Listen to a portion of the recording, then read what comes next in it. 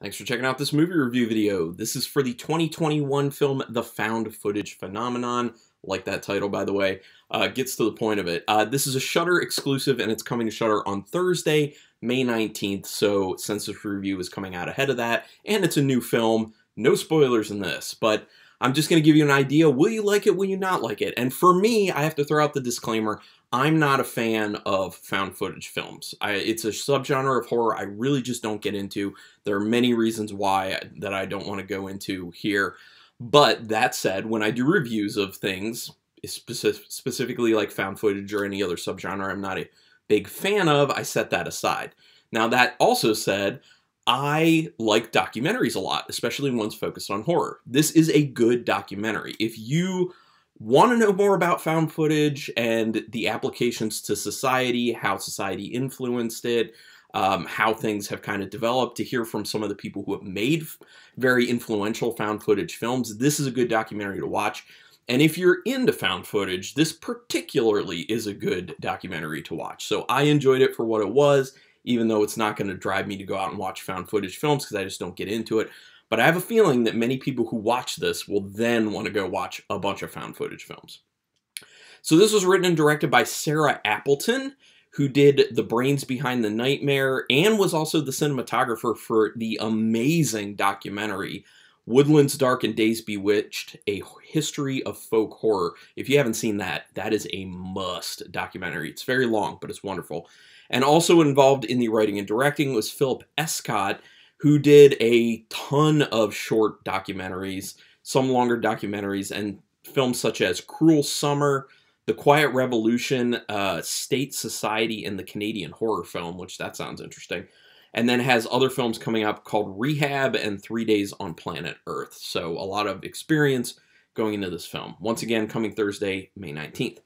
Doesn't really need a synopsis. It's a documentary about found footage films and kind of traces back societally and technologically and film wise, you know, where they started, maybe where they were influenced, which is some of the more interesting stuff for me. And it kind of chronicles it through time a little bit, not not like painstakingly or you know getting into super minute details, but in a little bit broader strokes, well, maybe medium strokes. It's kind of talking about the genre, how it's developed and what's influenced it, and how it has influenced film and society and things like that. So, very interesting. Those are the types of things I really love to hear when you're watching a documentary about horror. It takes a subgenre or multiple subgenres and it just dives in and it gets deep and it kind of autopsies it basically and just kind of gives you a significantly larger knowledge on, you know, how that subgenre operates and where it was, where it is now, how it became that way, all that good stuff. So if you're looking for that, this is the film for you for sure. If you're not, then maybe it's not. Uh, it starts with people defining the genre, which is a good idea for anyone who may be wandering into this documentary, not fully knowing what found footage is. But I'm assuming that the majority of people who are going to watch it, probably the overwhelming majority of people, know a lot about found footage films, or at least a little bit. Um, they also get to very early on kind of why it ends up connecting with people. And like I said, they kind of go over societal influences on it and then its influences on society. And it's not just like one broad thing. They, they kind of talk about it in different time periods. So that's even better instead of just being like, it connects with society because of this one thing. It's kind of like, well, at this time it connects because of this. And at this time it connects because of this. And then so, and it also just makes you wonder, like, where is it going next? Where's the genre going next? And where is society going next that will then potentially influence that genre? It just makes you think. Makes me think. There are obviously lots of clips of found footage films thrown into this. It is that typical mixture of watching people being interviewed and then throwing in the clips, going between the things. And a lot of times, obviously they have people talking over the clips, which makes a whole lot of sense. Sometimes they have just the clip and the audio from the clip as well. So it's a really good ratio of just seeing people talk versus the actual clips. So good job on that. They obviously know how to make a good documentary film, I will say. Uh, so there is that. I like that they trace back the origins uh, to things similar to found footage that helped influence, potentially helped influence the genre.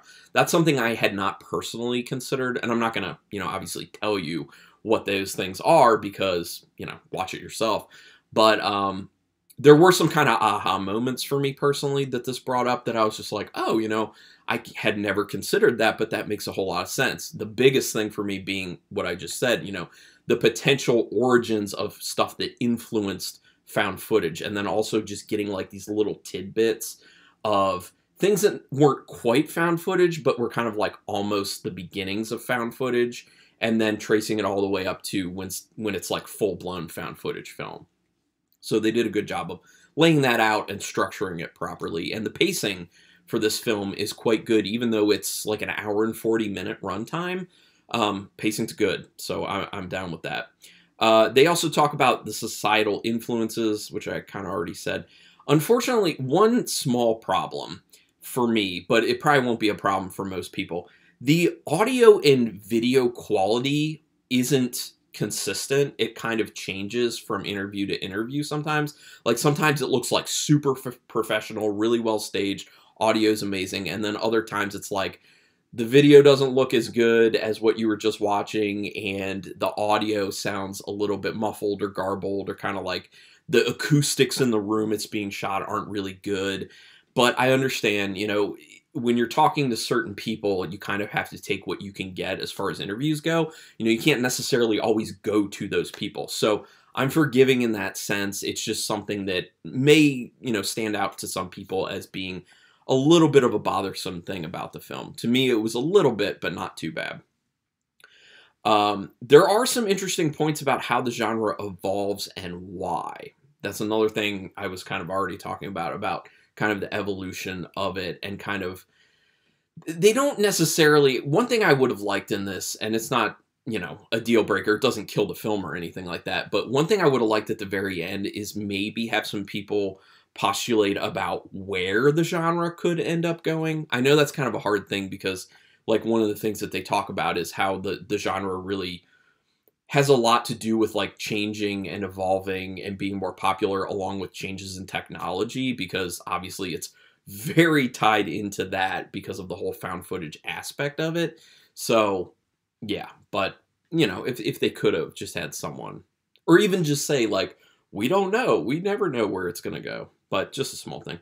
Some of the bigger names uh, that are interviewed in this uh, Ruggero Deodato, which unfortunately my screener version did not have subtitles, so I have no idea what he said. It was all in Italian, unfortunately.